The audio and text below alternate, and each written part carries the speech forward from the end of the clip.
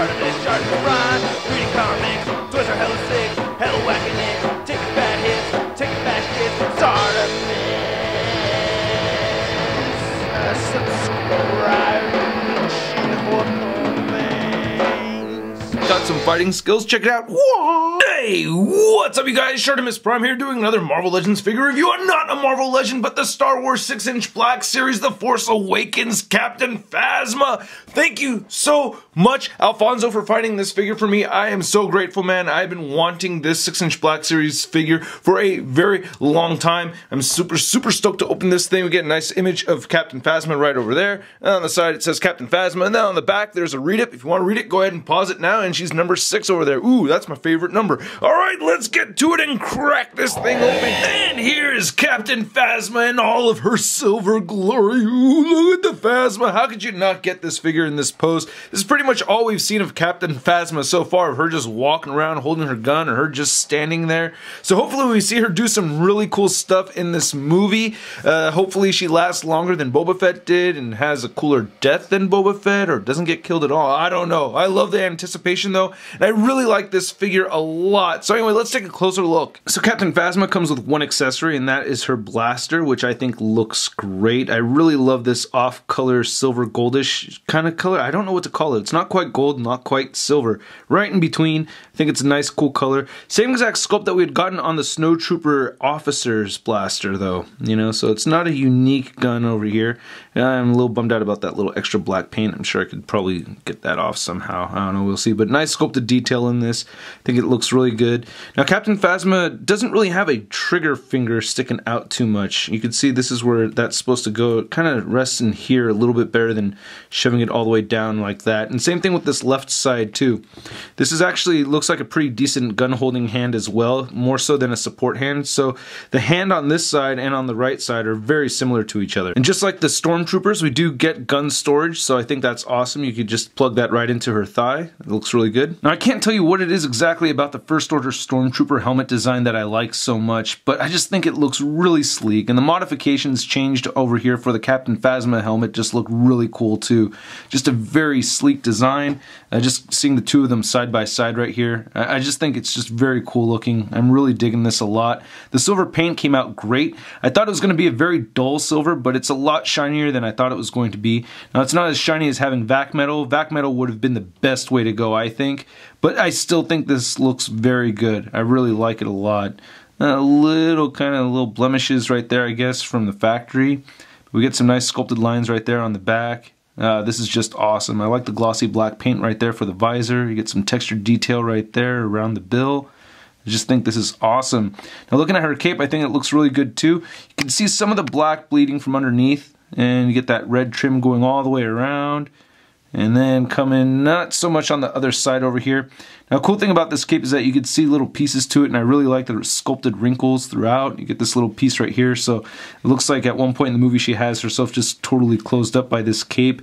And you get these little pockets I guess right over there and right over here too. This is, I don't know, somewhat soft material, you know, not super pliable, but, you know, it does have some give to it. And it's long enough where you can get her to lean against it, but if you don't want her leaning against it, you don't have to, so it's not obnoxious or anything. Looking at the rest of the figure over here, it's pretty much just a Stormtrooper design, but it is, of course, changed, especially to fit the form of a woman and I think that's great. I think that's awesome that Captain Phasma is a woman. I like how they have the texture right there sculpted in the joints. Get these same little panel pieces right over there. We already looked at the hands. And she has some nice hips right there, so I think that's cool. I like the wide hips, you know, you gotta give her some nice wide hips. And this little piece moves all by itself right here. Her belt, you can shift that around. You get that container piece right over there in the back. That looks pretty good. And I thought about trying to remove the cape, but I don't want to pull the head off. I tried pulling the head off, and I don't think I'm gonna, I just don't want to risk breaking it, so I'm just gonna leave that on there. And then looking at the legs again, really good detail throughout and you know it's just mostly a silver figure with some black but it looks really cool to me man And we get another little black scuff right there on her shoe that I noticed, or her boot anyway. I'm not a big fan of that. Nice choice of plastic right there for the hinges right here. I think that looks great. And she does have peg holes at the bottom of her feet. Now Captain Phasma's articulation is a little bit restricted. For instance, you can't really get her head to look up much at all. Uh, that's as much as you're gonna get, which is just barely looking up. She can look down quite a bit though, so I think that's pretty cool. You can rotate the head side to side, and you get a little bit of neck pivot in there, so I think that's nice. And this left shoulder can only move outward that much unless you rotate the cape around, which you can do. So moving that outside, you can do that. Same thing with the right shoulder. That goes inside right there. I think that's a smart move that they made that work. And you can get her shoulders moving forward. She does not have a bicep swivel. She only has a single jointed elbow, which is a bummer. She does have rotation at the elbow. She has a wrist swivel, and then she hinges in and out right there at the wrist, and same articulation right here on this side. She has a diaphragm joint that moves side to side. You do get some pivot right here, and she does crunch forward that much. It's kind of hard to see because of the cape. She does crunch back a little bit more than that. So nice range of movement over there. And then her hips can only move outward this much, and she can kick forward quite a bit, which I like. She can kick back a little bit. She has an upper thigh swivel. She does have double jointed knees, so you can bend those all the way in. Then her ankles move down, they move up, and she does have ankle pivot. Now, Captain Phasma is not short by any means. She's standing just a little under 7 inches tall. Then here's our 6 inch Captain Phasma next to my Funko Pop little bobblehead, and then we have the 18 inch right here from Hasbro. Whoa, that's a big Phasma! And to compare Captain Phasma to another character played by Gwendoline Christie, we have Brienne of Tarth. Thank you, Theron. And you can see that she's just a little bit shorter than Captain Phasma. And then to compare Captain Phasma to some other 6-inch Black Series Force Awakens figures, we have a retail Stormtrooper, thank you, and we have Kylo Ren. You can see Phasma is standing much taller than both of these. then here's Captain Phasma next to the SDCC exclusive Black Series Boba Fett. And then here's Captain Phasma next to the Marvel Legends Big Time Letdown Spider-Man. Ooh, your armor is really shiny. Hey, I can see myself.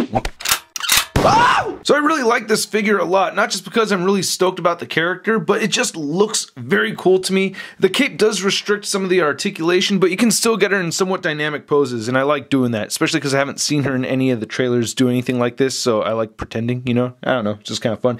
Anyway, hope you guys liked my review. If you did, please hit the like button. Click any of these boxes right over here if you want more shart in your face.